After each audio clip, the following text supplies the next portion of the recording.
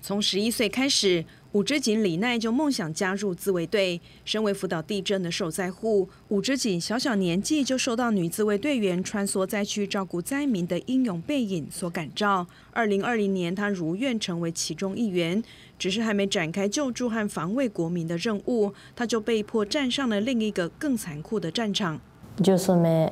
えその宴会の場にいたんですけど。 まあ、その場で、えー、上司の方に、えー、首を決めて倒すっていうことをいう話格闘の話をしててでそれで、まあ、男性隊員の先輩の方から、えーと、首を決めて倒されて腰を振って一人であえでそれで笑いを取るっていうのを、まあ、3名の男性隊員代わる代わるにやられたっていう。进入自卫队之后，武之井就陷入性骚扰的梦魇，在走廊被摸臀、被人从背后熊抱是家常便饭，遭到学长同僚碰触身体的劣行更接连不断。やっぱ山の訓練に行くと、とまあ宴会ってあとお酒の場とかで、まあ酔った男性隊員の先輩からあのほっぺにキスをされたりとか、まあえっ、と T シャツの上から胸を揉まれたりとかやっぱり上司の方がしてたらなかなか言い出せないですしうんでも上司である立場の人が見てたのに言わなかったっていうのがうん情けないですよね。武之井向上通报得到的回复是证据不足。二零二二年六月，他将自诉的影片放上网路，也透过日本外国特派员协会 （FCCJ） 对外揭发整起事件。武之井的诉愿获得超过十万人联署，逼得防卫省重启调查。最后，五名涉案的军官遭到免职。やっぱり同じ被害を出したくなかったっていうのが一番強かったですね。あとは、えー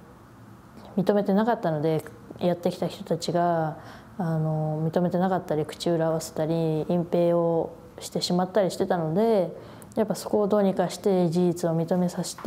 えー、謝罪が欲しいっていう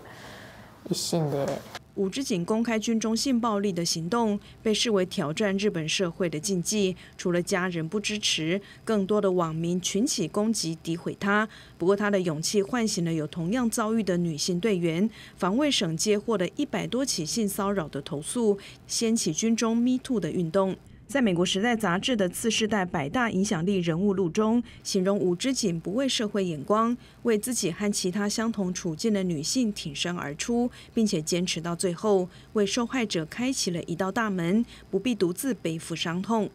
その間、僕はずっと寝ているふりをしていました。翌日、ジャニーさんと出かけるときに、エレベーターの中で1万円を渡されました。 冈本控诉杰尼斯事务所创办人强尼喜多川的性侵宣言，让流传多年的公开秘密摊在阳光下，也再度挑战日本社会看待性骚扰事件的底线。杰尼斯最终公开道歉，换掉社长，但难以阻止男团帝国形象的崩坏。随着越来越多杰尼斯受害艺人出面，以及媒体的大篇幅报道，显示日本社会一反过往避而不谈的无视做法，转而关注性骚扰受害人的权益。公司新闻张淑芬编译。